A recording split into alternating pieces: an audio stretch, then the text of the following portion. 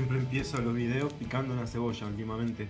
Bueno, voy a hacer unos pimientos rojos, pueden ser verdes también, rellenos con carne de soja y puré de patata. Si los pueden hacer solamente con puré quedan buenísimos, pero como tengo carne de soja de esta seca, texturizada, la voy a usar para rellenar estos pimientos y hacer una salsita de curry. Voy a picar una cebolla, voy a necesitar dos cebollas. Primero pico una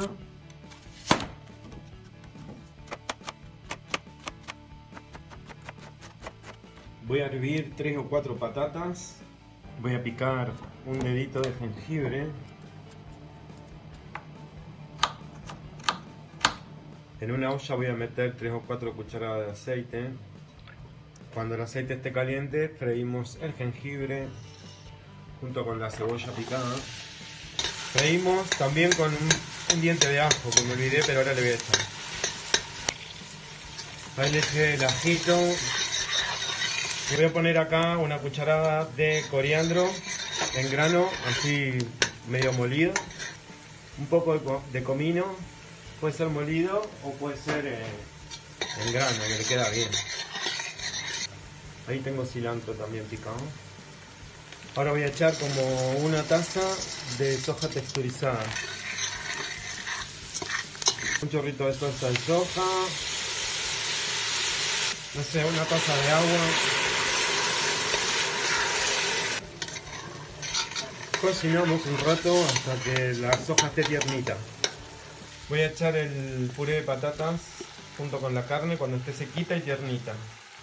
El puré de patatas tiene que estar durito, ¿vale? Porque si no el relleno va a quedar muy blando. Lo cocinamos un poquito para que se seque y no quede demasiado agua. Ahora voy a apagar el fuego. Ahora voy a pillar los pimientos. Les voy a cortar la tapa. Y con una cuchara saco lo de adentro. Las tapas les voy a sacar la semilla y las voy a picar. Voy a picar todo eso. Chiquito. Y hay gente que compra. Claro. ¿Te compraste una capa para disfrazarte? para Halloween. Dos euros. ¿Y qué te vas a poner? ¿La capa y maquillaje? Claro, para, para todo esto. Voy a rellenar los pimientos con el puré, con la carne de soja.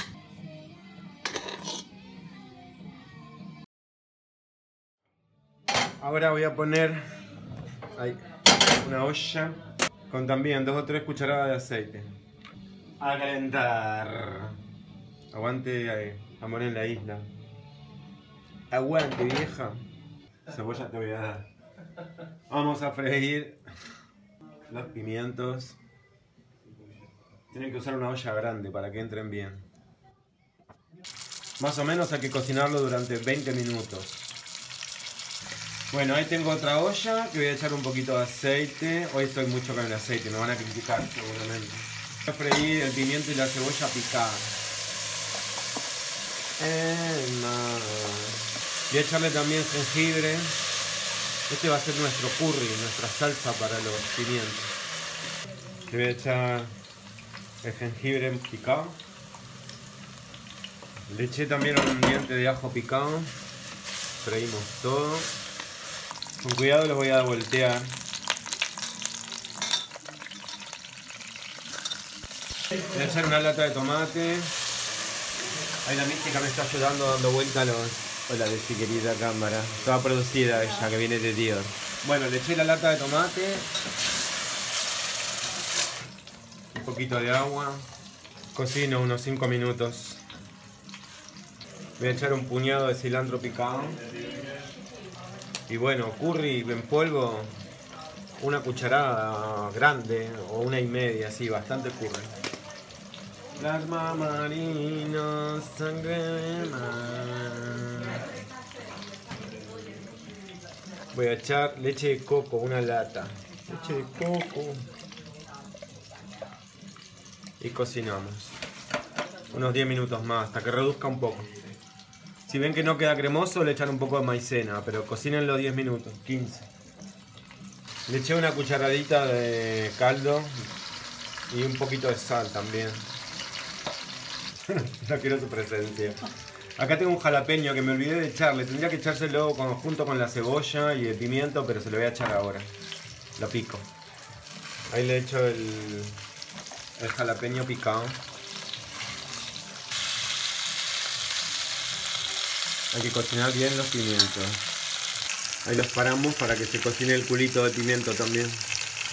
Ahora voy a procesar la salsa con una mini pimer, con cuidado de no quemarme.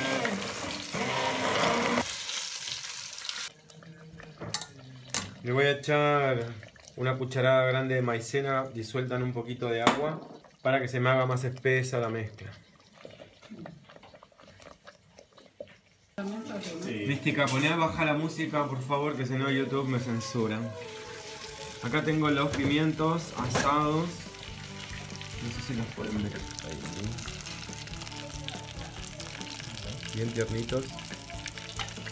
Hay que tener cuidado que el relleno se salga. Y la salsa y un poco de cilantro picado. Y arroz hecho. Ponemos un pimiento. Con un poco de arroz. Y la salsa. Que la mística no le tengo que poner porque si no está re picante. Y un poquito de cilantro.